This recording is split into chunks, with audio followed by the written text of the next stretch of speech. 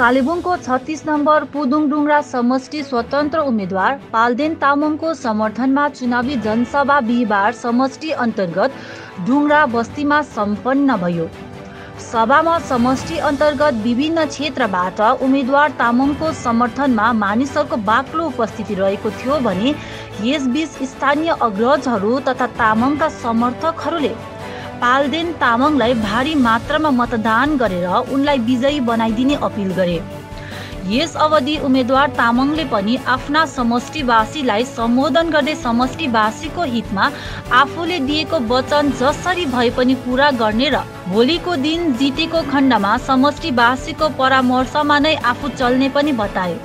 यसरी सम्पन्न सभापछि पाल्देन तामाङको समर्थनमा समष्टि अन्तर्गत विभिन्न क्षेत्रका शक्ति प्रदर्शन पनि सम्पन्न गरियो। त्यस अवधि उनका समर्थकहरूले टर्च लाइट बालेर आउँदो छब्बिस जुनको दिन हुने जिटिए चुनावमा टर्च लाइटको चिन्हमा मतदान गरी पाल्देन तामाङलाई विजयी बनाइदिने अपिल गरे।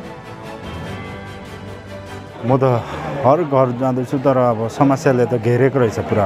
छत्तिस नम्बर समष्टि त अब यसरी इन्डिभिजुअल घर म पहिला त गएको थिइनँ। गएको थियो होला म खोला नाला यसरी हामी पहिला थियौँ। त्यतिखेर त्यता त्यता गएको थिएँ तर डोर टु डोर चाहिँ गएको थिइनँ। तर यसरी डोर टु डोर जाँदा धेरै परेसानी अब देखिरहेको छु मैले है। अन्त रेस्पोन्स चाहिँ अब एकदम राम्रो छ। उनीहरू अब सिधा मान्छेहरू डाइरेक्टली भन्छ। उनीहरू छक्का पन्जा गर्नु जान्दैन। उनीहरूले राम्रो रेस्पोन्स दिइरहेको छ एकदम। राम्रो कस्तो परिवर्तन चाहिरहेको छ?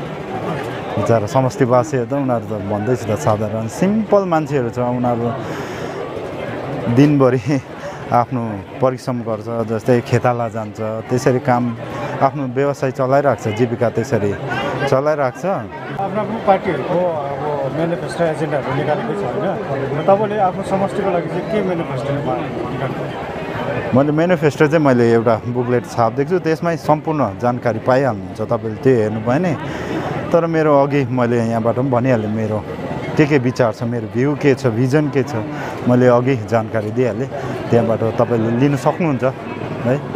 तपाईँहरूलाई के भन्न चाहन्छु भने यो हाम्रो छत्तिस नम्बर क्षे- क्षेत्रमा जति पनि पढेको छ जति पनि वार्डहरू पढेको छ अनि अरू जग्गा पनि म के भन्न चाहन्छु माइनोरिटीलाई मेनली लिएर तपाईँहरू हाम्रो क्षेत्रमा निर्धक्क साथ तपाईँले बिजनेस गर्नु सक्नुहुन्छ इन्डिपेन्डेन्टली गर्नु सक्नुहुन्छ अगाडिको दिन जस्तै जिट जिटी उठाउने त्यस्तैहरू म बन्द गरेको हुन्छु है। तपाईँले एकदमै राम्रो प्रकारले आफ्नो बिजनेस उयो गर्नुहुन्छ सञ्चालन गर्नु सक्नुहुन्छ तपाईँहरूले यो भन्न चाहन्छु।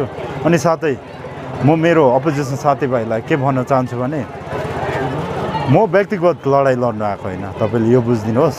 म चाहिँ व्यक्तिगत लडाइँ लड्नु आएको होइन मेरो व्यक्तिगत लडाइँ कोहीसँग पनि छैन। लडाइँ लड्छु भने म डेभलपको खिलाफ लड्नु आएको अनि युथ भाइ बहिनीको यो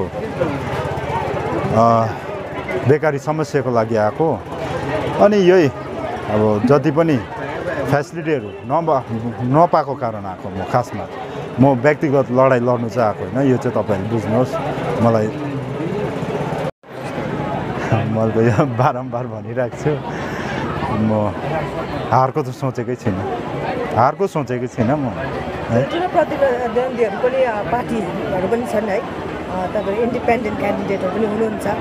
र कतिको तपाईँलाई यसको च्यालेन्जिङ लागिरहेछ मैले अघि भनिहालेँ। मेरो जित एकदम हन्ड्रेड पर्सेन्ट ग्यारेन्टी छ। तर अरू पनि अब उनीहरू आफ्नो प्रकारले खटिरहेको छ। उनीहरूलाई म भन्नु चाहिँ केही पनि छैन। उनीहरू आफ्नो प्रकारले खटोस् म आफ्नो प्रकारले खट्छु। म जित्नुको लागि आएको हो उनीहरू पनि जित्नुको लागि आएको होला। उनीहरू आफ्नो प्रकारले खट्दा हुन्छ। त्यसमा भन्नु केही छैन। म एक्लै मैले म एक्लै भोट हालेर चाहिँ म जितेको हुँदिनँ।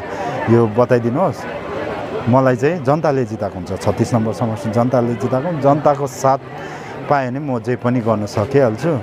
अन्त जनताले के रुचाउनुहुन्छ? म त्योपट्टि जान्छु है? उनीहरूले बनाएको मलाई। उनीहरूलाई सोध्छु म एकदम उनीहरूले के चाहनुहुन्छ? म त जनताको प्रतिनिधि म आफै बन्नेको होइन। म त्यस्तो ढाक पिट्ने खालको मान्छे पनि छुइनँ। उनीहरूले बनाएको उनीहरूलाई सोधेर गर्छु जे काम पनि है? अनि अघि के भन्नु पर्दाखेरि काम कुरोको विषयमा त म भनिहालेँ म जसरी पनि ल्याउँछु। त्यो त मलाई रोकेर रोक्नु पनि सक्ने छैन कसले। है म रोकेर रोकिने खालको मान्छे पनि होइन। सत्यमा विश्वास गर्छु। ढाँट्ने काम गर्दिनँ। अन्त सत्यमा विश्वास गर्ने मान्छे कहीँ झुक्नु पर्छ जस्तो त मलाई लाग्दैन। This case wasn't just about my client, but all the other victims who were denied justice. Raised before this learned court to punish the guilty. After examining all the evidences and witnesses, the court holds the accused guilty. जीवनमा सानो सानो सफलताले नै एउटा ठुलो बाटो देखाउँछ। न्याय नीति र शिक्षाले नै व्यक्तित्वपूर्ण एउटा अनेस्ट मान्छे बनाउँछ। चाहेको थिए न्यायको लागि लड्छु। मेरो यो लक्ष्यलाई सफल बनाएको छ Indian Institute of Legal Studies शिक्षा जहाँ न्याय सिकाइन्छ। Indian Institute of Legal Studies विद्या ददाति विनयम।